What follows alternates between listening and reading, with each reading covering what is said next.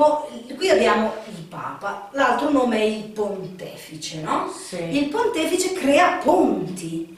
Il ponte è qualcosa che unisce degli opposti. Il cielo e la terra. Il cielo, la terra, la destra e la sinistra, il sopra sotto, ok? E il bianco e il nero.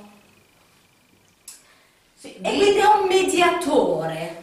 Ah, un mediatore. Il mediatore può essere in un, come dirte, in Anche un mezzo a una lavoro. situazione Sì, anche. certo. Arriverà una persona che porterà notizia, possiamo Sì, dire. che porterà aiuto e consiglio. Aiuto, consiglio e farà da mediatore. Ah, perfetto, Sì. ok.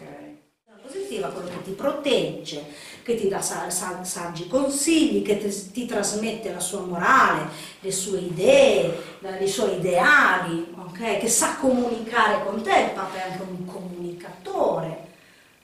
Trasmette le preghiere dei fedeli a Dio e le risposte di Dio ai fedeli.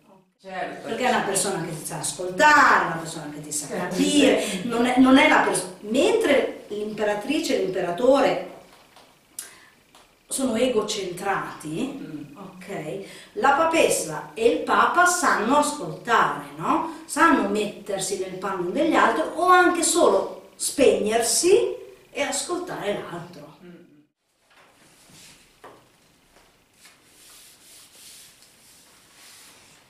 Anche perché se c'è una buona comunicazione solitamente tutto riesce. La comunicazione è il segreto del mondo.